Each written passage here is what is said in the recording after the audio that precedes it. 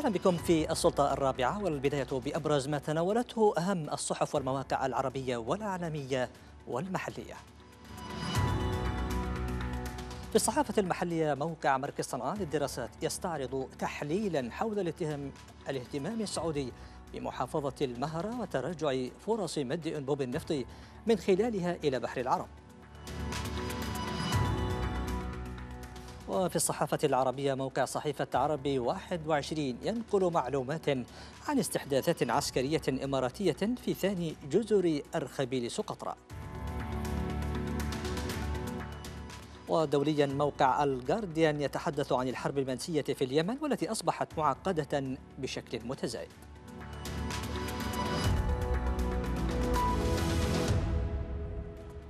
البداية محليا حيث يستعرض موقع مركز صنعاء للدراسات الاستراتيجية تحليلا مستفيضا للباحث يحيى أبو زيد حول الاهتمام السعودي بمحافظة المهر وإمكانية إنشاء أنبوب نفطي من خلالها إلى بحر العرب.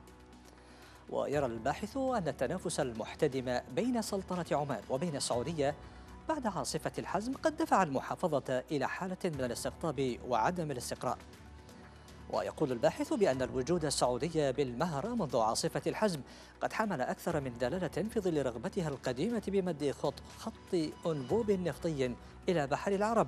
ابان حكم علي عبد الله صالح. وبحسب الباحث فإنه على السعودية إذا ما فكرت بمشروع كهذا أن تدرس قدرتها على حماية الأصول الثابتة لمشروع بمليارات الدولارات في بيئة شديدة التغيير أو التغير والتقلب. وخلص الباحث إلى أن النظرية القائلة بأن السعودية اليوم ترغب بمد خط, بمد خط أنبوب في المهرة أقل تصديقا في ضوء عدم الاستقرار السياسي في اليمن. ويوضح الباحث أن أحياء العمانيين مقترح خط أنابيب لنقل النفط السعودي منذ تولي السلطان هيثم يقدم للسعوديين احتمالا أكثر واقعية وأقل خطورة. ويفسر الباحث كذلك سلوك السعودية اليوم في تكثيف جهودها لبناء نفوذ قبلي وعسكري في المهرة بأنه يهدف إلى تقوية موقف الرياض لمحاولة فرض خياراتها في المستقبل إذا ما انتهت الحرب واتجهت الأمور إلى تفكيك البلاد عمليا أو رسميا.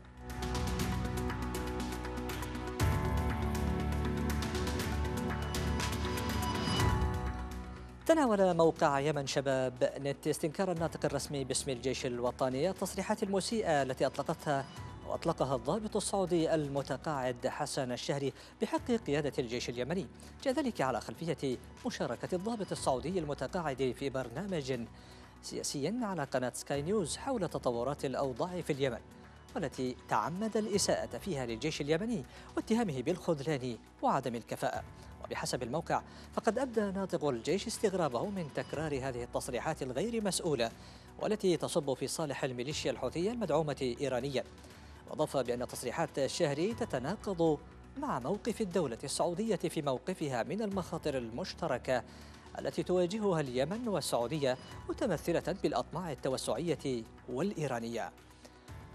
وأوضح الموقع بأن ناطق الجيش أكد على أن تصريحات الشهر لا تمت للواقع بأي صلة وهي تعبير انفعالي ناتج عن تقدير خاطئ لطبيعة المخاطر التي تواجه اليمن والسعودية على حد سواء.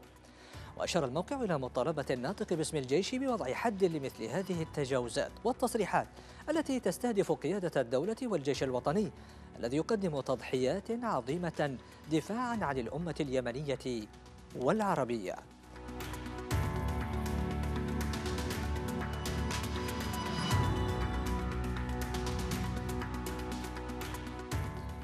يتناول موقع الموقع بوست تقريرا عن تطبيقات الهواتف الذكية لكشف الأرقام وخطرها في انتهاكات خصوصية الأفراد.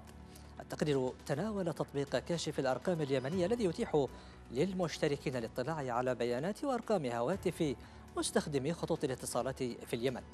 التقرير يؤكد على أن التطبيق يعد انتهاكا لخصوصية المشتركين كونه يتيح للمستخدم الاطلاع على كافة الصيغ التي يحفظ بها اسم المستخدم لدى الآخرين والذي تسبب بالكثير من المشاكل الأسرية في اليمن بسبب مشاركة المستخدمين البيانات الخاصة ببعضهم.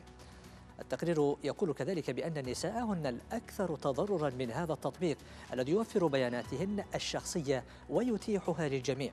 الأمر الذي يستغله المتحرجون للوصول إليهن والقيام بابتزازهن أو التحرش بهن.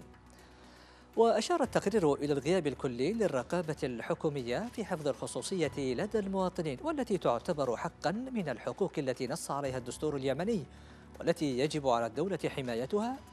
وكذلك ألمح التقرير إلى غياب الوعي المجتمعي الكافي بطبيعة عمل بعض التطبيقات وخطورتها على الخصوصيات. ويقول التقرير أن خطر هذه التطبيقات أنه يكمن أو يمكن استخدامها في أغراض سياسية مؤذية كونها تتيح المعلومات للجميع. وبحسب توصيات الخبراء يجب التخلص من هذه التطبيقات والتوعية بمدى خطورتها في ظل غياب رقابة الدولة.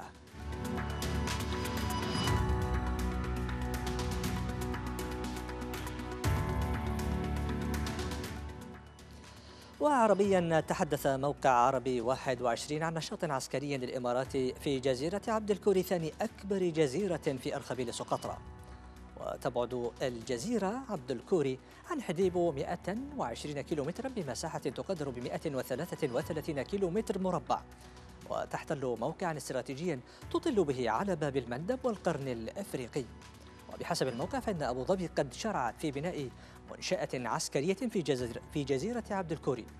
وتعمل على إغراء سكان الجزيرة تمهيدا لنقل ميليشيا إليها من خارج الجزيرة. ويشير الموقع كذلك إلى أن الإمارات قد أرسلت فريقا من الخبراء الأجانب بمعية شركة مقاولات محلية تابعة لها منذ شهرين حيث تعمل على بناء مدرج صغير للطائرات العمودية والمروحية بالإضافة إلى ميناء بحري ومنشآت أخرى. مصادر تحدثت للموقع بأن الأعمال الإنشائية تجري وسط تحركات سرية وتكتم شديدا شديد بعيدا عن التنسيق مع مؤسسات الدولة الشرعية. ويتحدث الموقع عن استهجان اليمنيين للموقف السلبي الحكومي تجاه انتهاكات السيادة التي تمارسها الإمارات في الجزيرة بظل صمت شريكتها السعودية الضامنة لاتفاق الرياض.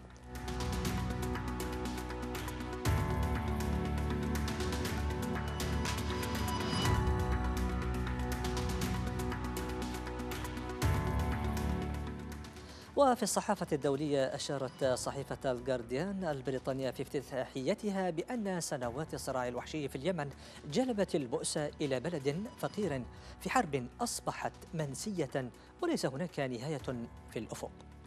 وقالت الصحيفة بأنه مع بداية 2021 كانت هناك آمال أن يؤدي صعود بايدن إلى البيت الأبيض إلى إحراز تقدم في عملية السلام وإنهاء الحرب في اليمن.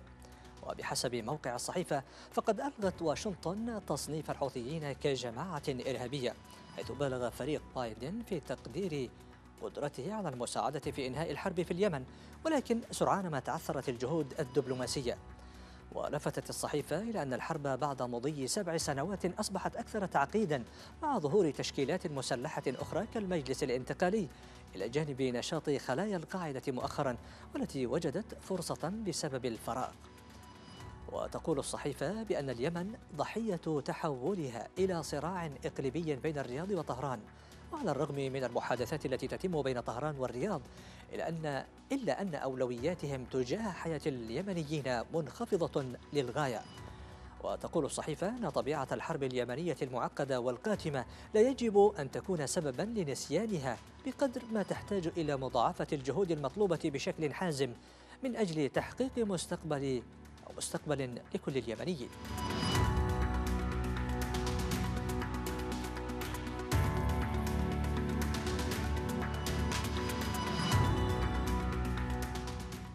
بهذا وصلنا وإياكم مشاهدينا الكرام إلى ختام السلطان الرابع. أشكركم على طيب المتابعة وأترككم مع هذا الكاريكاتير